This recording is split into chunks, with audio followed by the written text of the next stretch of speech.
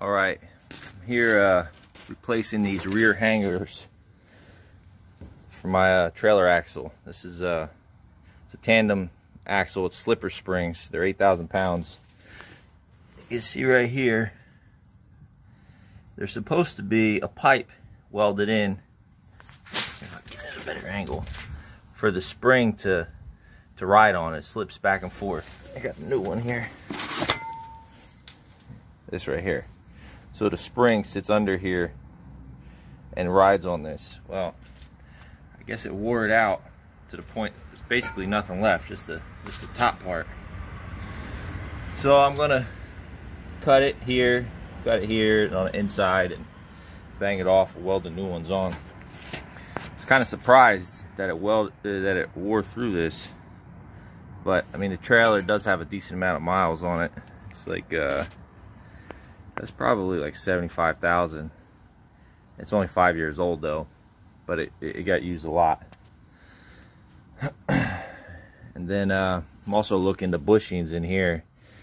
There's some play in that spring, so I might pull that out and put some bushings on there. The whole reason we pulled the tires off was to adjust the brakes and address a little bit of rust that we were getting. That uh, turned into a bigger project. I'm gonna put them on and we wire wheeled this once and threw some uh, rust reformer on there, but I'm gonna do a little bit of a better job. Probably hit it with the flap disc. And then uh, I'm gonna use that Rust-Oleum oil based uh, paint. It's the industrial stuff. It's pretty heavy duty. I used it once before, not on a not on a trailer, but on some other steel that's outside, and it seemed to hold up pretty good. I'm gonna put it on here and see see how it goes. But I'll, I'll do another video when I get uh, these knocked off and the old, the new ones tacked up. Yeah, you see I, I, lowered the axle down so I had some room to work and I couldn't get couldn't get the old bolt out. It was seized in there. So first I grind it off the head and try to knock it through with a punch, but it wouldn't move. See, uh, grind it both sides. But it was seized in there pretty good. So I just notched it out to get it out. I just wanted to get the axle out of the way before I start really start messing with this hanger, trying to get it off. Because it's going to take a little bit of convincing to come off. Because you got to be real careful not to not to cut the frame. I don't want to cut any of the, that steel or, or this C channel. I just want to cut the weld and, and this. But, all right. All right, so I got both of the hangers off this one and then the, the one down on that side. Uh, I got it cleaned up pretty good. Probably hit it with the wheel one more time. Um, I grinded them and had to use the good old persuader to get them off.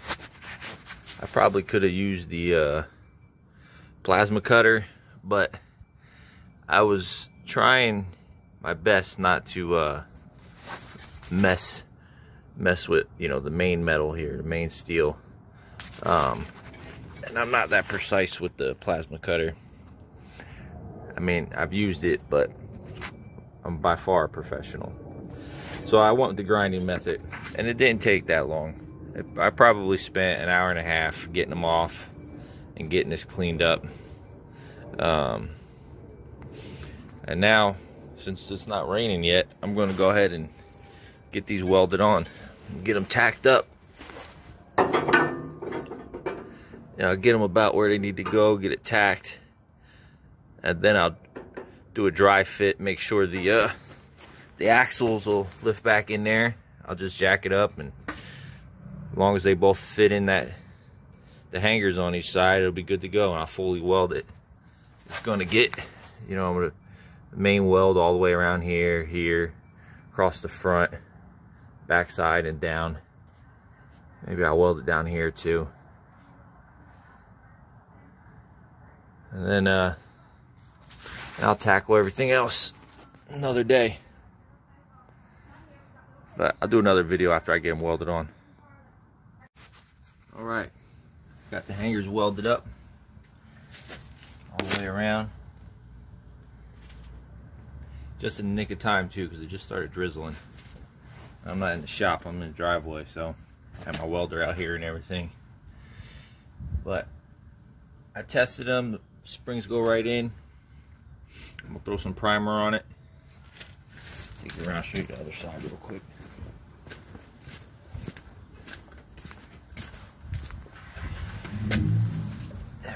Still gotta clean this one up a little bit, but a little bit of a, a little excess right there, but it's good. I'm not trying to win any awards. I just wanted it to stay on there. All right, got it all back together. This uh, lime green was the only primer I had, uh, but it'll do. Tomorrow I'll hit it with a top coat of black and it'll be fine. But it's sitting nice. They have a little bit of movement in here. It's able to, you know, ride up and down. A little bit of space on each side you can see. Right there. The same deal down on that side. So, only thing left, oh, and I adjusted the brake. It was pretty easy. Well, it's not that easy, but you pull this cap you take the nut out and take this whole drum off. You're gonna the wheel bearing is gonna come out of this side. Then there's a spring on the bottom that has an adjuster. You're supposed to be able to do it from the back. There's a little hole in the back of this this plate, but um, it's a pain in the ass to get to, um, and it had they weren't adjusted in a long time, so the adjuster was pretty pretty seized. I had to spray it with some WD-40, and then uh, put it in a vise and get it with a pair of, of pliers to get it to turn. So there's no way I was going to be able to adjust it with a screwdriver through that little asshole. But I'm glad I got this taken care of. I'll be able to put the wheels on it and get it back on the road. Till next time.